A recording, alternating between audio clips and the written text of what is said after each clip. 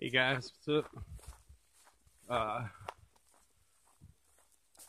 about uh, uh, maybe maybe two miles at the most from uh from um Rodman uh, Rodman Dam.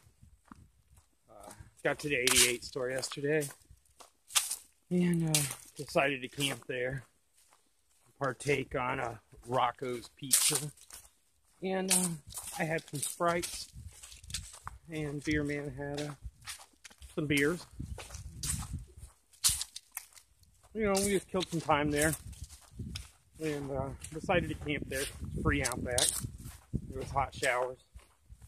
And uh, the way it played out for our resupply and stuff, we're uh, see what happens today. About 11 or 12 miles into the day, and uh, pretty close to uh, um,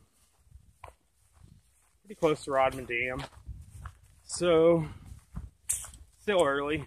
It's only, uh, only like a quarter after one or so. Um, you know, so we've been picking up, picking up some miles. We didn't leave until like 9:30 or so um, from uh, from the 88 store. We sat there and had a big breakfast. I ate my leftover pizzas and some yoo-hoos, a Sprite, a cheese crumb cake, and probably like a 3,000 calorie breakfast I ate this morning. So, um, but yeah, we've been noticing that, you know, we've been getting to 15 now, about like,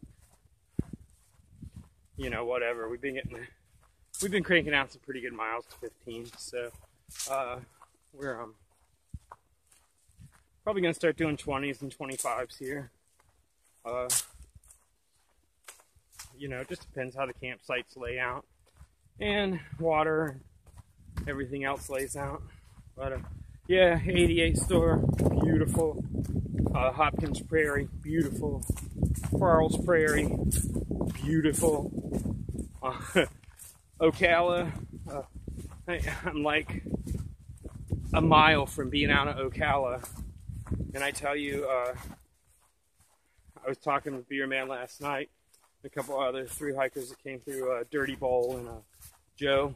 And, uh, you know, we were uh, like, man, you know, I was like, put me in 80 miles of beautiful woods and it just flies by. Like, I mean, it was just like yesterday that we got into Ocala. Um, just flies by and uh, you know, so much different than being on like a road walk or something where like a 10 mile road walk will just seem like it drags on and on and on. For me, anyways. I don't know about everybody. For me, it feels that way.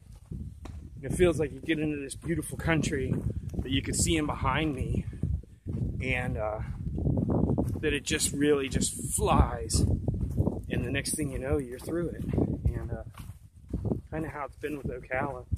Looking forward to Suwannee coming up and seeing Long Long Walker and uh, a section of trail and all around, up around Apalachicola and uh, start making that bend uh, pretty soon.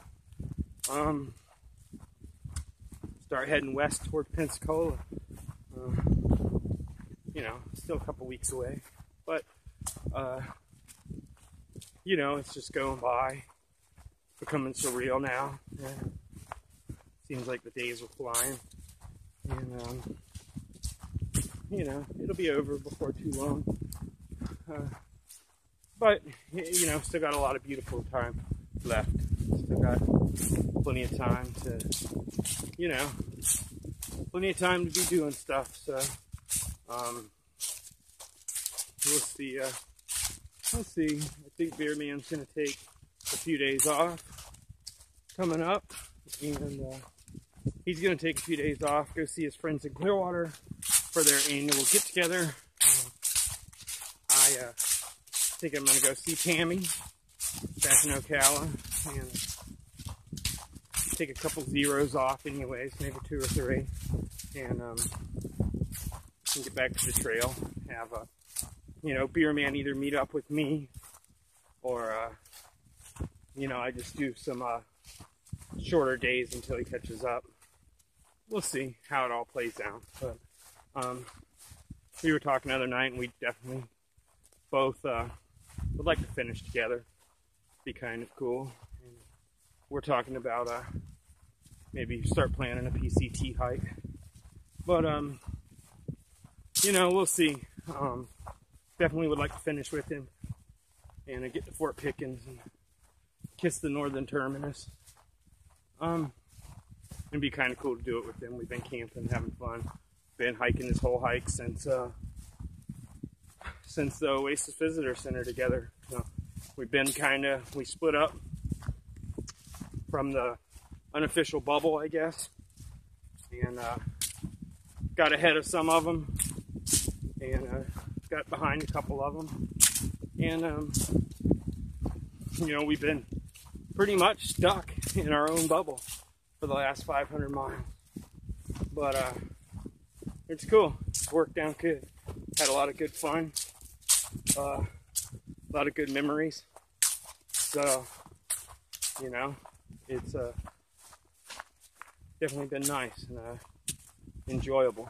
So, um, anyways, yeah, I'm gonna get up here to Rodman Dam and uh, get over it and uh, probably get to the campground, kind of see where we're at with time, and uh, kind of see where we're at with time there, and take it from there, and uh, maybe push on another few miles, maybe stop.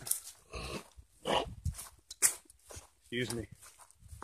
Uh, you know, but we'll see what comes from there and uh, what's coming up.